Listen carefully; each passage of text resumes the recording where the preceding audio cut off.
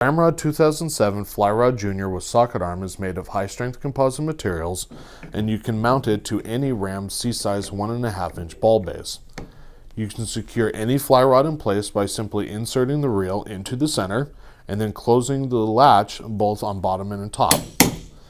The latch can face either direction for supporting left-handed or right-handed reels.